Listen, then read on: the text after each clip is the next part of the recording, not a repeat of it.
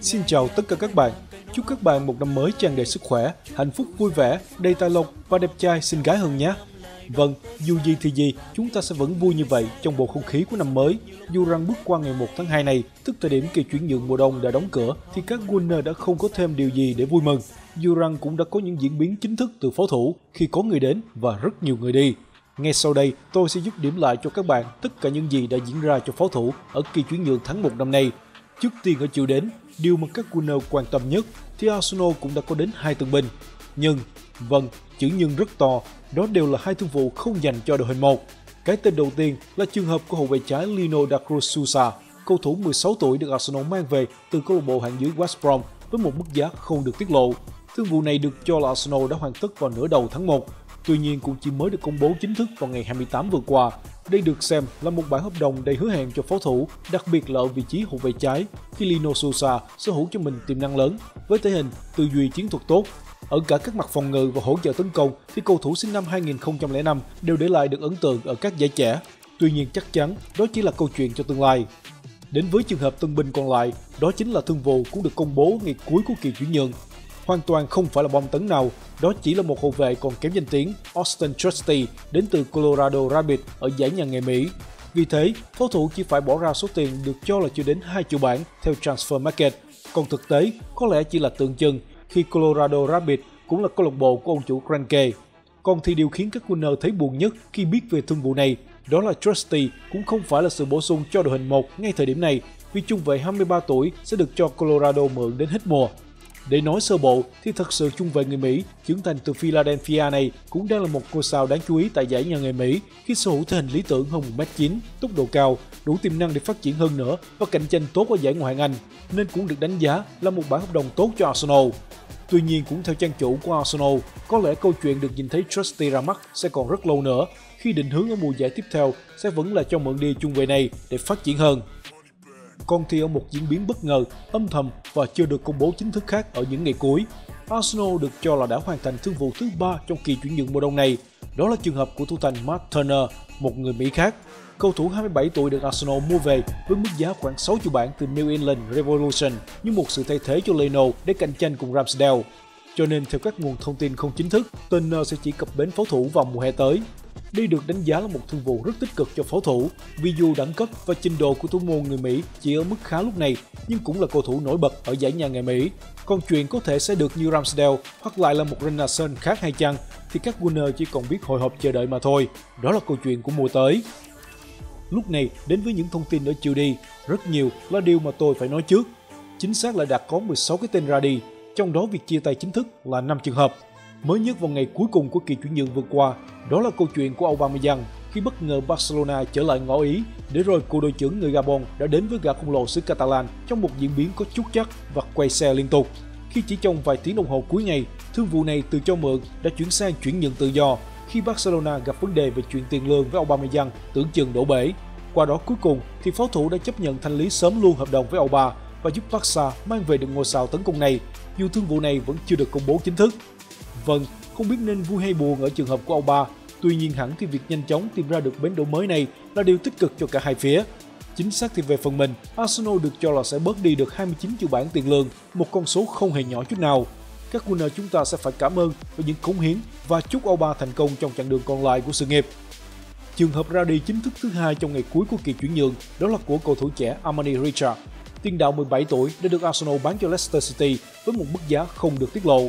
Đây được xem cũng là một diễn biến có phần bất ngờ khi Richard cũng chỉ mới gia nhập học viện của pháo thủ vào tháng 3 năm ngoái từ Chelsea, cũng như mới ký hợp đồng chuyên nghiệp vào tháng 12 vừa qua. Tuy nhiên, hẳn đây cũng không phải là một điều gì đó đáng quan tâm cho các Gunner.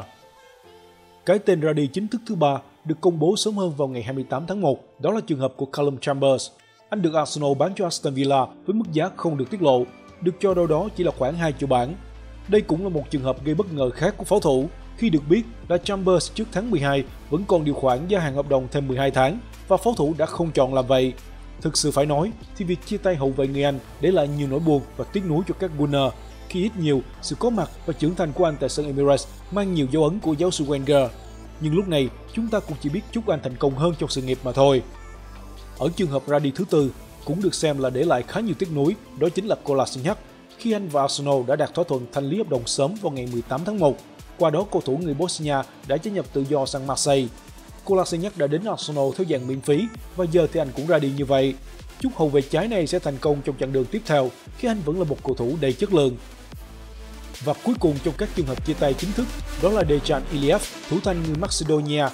Tương tự như Kolasinac đã đạt thỏa thuận thanh lý hợp đồng sớm với Arsenal, dù ngay tại thời điểm anh vẫn còn đang được cho mượn ở Slovakia.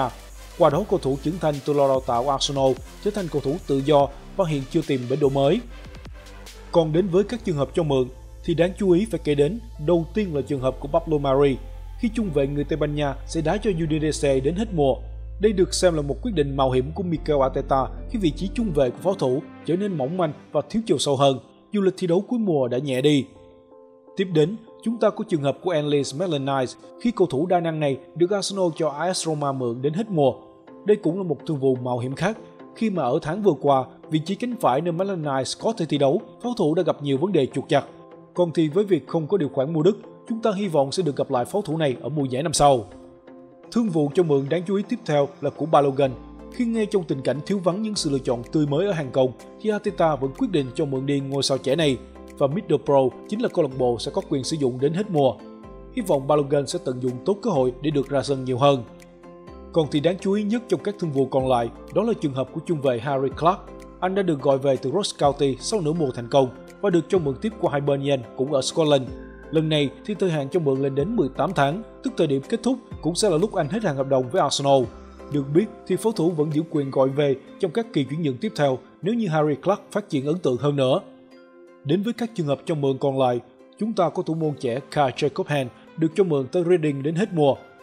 Tiếp theo thì hậu vệ phải 23 tuổi Jordi Osetutu sau khi được gọi về từ Nottingham Forest đã tiếp tục được cho mượn sang Tottenham. Cũng đã ở vị trí hậu vệ phải, cầu thủ 20 tuổi Ryan Alebizu đã đến với câu lạc bộ hạng 3 là Crew Alexandra. Và cuối cùng ở hàng hậu vệ thì là cầu thủ đa năng Brook Norton Coffey. Hậu vệ 18 tuổi này được cho mượn tới Lincoln City. Lên tới hàng tiền vệ thì đó là Timothy Akinola, tiền vệ 20 tuổi được cho mượn qua Dundee United ở Scotland. Tiếp theo ở hàng tiền đạo thì Tyree Sonju tiếp tục được cho mượn qua Sheffield Wednesday sau nửa mùa trước đã cho Blackpool. Còn cuối cùng là trường hợp của tiền đạo 20 tuổi người Thụy Điển Nikolai Moller sau khi được gọi về từ Đức cũng đã tiếp tục được cho mượn qua Hà Lan trong áo của Dan Bosch. Vâng, và đó là tất cả những gì Arsenal đã thực hiện trong kỳ chuyển nhượng mùa đông vừa qua. Chắc hẳn các bạn không được vui cho lắm, đi kèm với sự thất vọng. Tôi cũng vậy, đặc biệt là khi nhìn vào tình hình nhân sự của pháo thủ cho giai đoạn còn lại của mùa giải. Ở vị trí thủ môn thì không có gì phải lo lắng, tuy nhiên lên tới hàng hậu vệ thì đang rất mong manh với chỉ ba trung vệ thay nhau. Trong khi ở hai biên thì có sự chênh lệch lớn giữa chính thức và dự bị. Tuyến giữa cũng rất hạn chế với chỉ 4 tiền vệ cho hai vị trí xuất phát đá chính thường xuyên. Và đó cũng là câu chuyện của hàng công khi không có thêm bất kỳ sự lựa chọn tươi mới nào. Mọi vấn đề tiêu cực xuất hiện từ chấn thương, thẻ phạt và Covid có thể sẽ gây tổn thương nặng nề lên đoàn quân của Mikel Arteta. Với cá nhân tôi, khi nhìn vào đội hình này, cảm thấy lo lắng và không quá tự tin vào khả năng lọt vào top 4 của các pháo thủ. Tuy nhiên, tôi lại rất hy vọng Mikel Arteta và các học trò sẽ chứng minh được điều ngược lại. Đó là điều mà họ đã làm được ở đầu mùa. Còn bây giờ, khi mọi thứ chỉ còn là tập trung cho giải ngoại hạng, hẳn tính khả thi đã còn cao hơn nữa rồi. Còn các bạn thì sao? Cảm nghĩ thế nào về kỳ chuyển nhượng và đội hình của pháo thủ? Hãy để lại comment chia sẻ nhé. Cũng như đừng quên like, share và subscribe đăng ký cho kênh. Chúc các bạn năm mới vui vẻ nhé. Hẹn gặp lại trong những video sau.